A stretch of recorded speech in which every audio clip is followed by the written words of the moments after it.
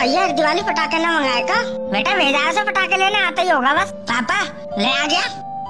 अब पटाखे तो मैं लेनी मार्केट में। हाँ? हाँ, हाँ भैया वो क्या करे? बेटा पटाखे तो हम ज़रूर फोड़ेंगे। कैसे भैया? हाँ तो एक काम कर जितनी माचिस की डिब्बी है ना सारे लिया निकाल के। हाँ लाता हूँ।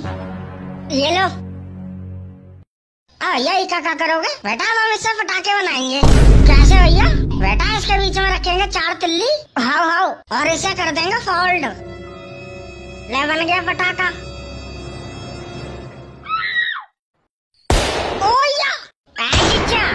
जिज्जा मेरे पास तुम्हारे लिए कॉन्ट्रैक्ट है। कैसा कॉन्ट्रैक्ट जिज्जा, दो हज़ार बम बना के दे दो, मैं तुम्हें एक लाख रुपए दिलवाता हूँ। चल ठीक है बेटा, मंजूर है, एक घंटे बाद ले जाइयो मेरे से। ठीक है जिज्जा, एक घंटे बाद आता हूँ मैं।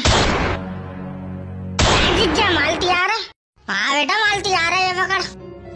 पेमेंट जिज्जा ऑनलाइन करवा दिया। हाँ ठीक है, चल। आज की बड़ी खबर, सरकार ने पटाखों का काम कर रखा है, मंदा और एक तरफ़ बोरा भर के पकड़ा गया है दरिंदा।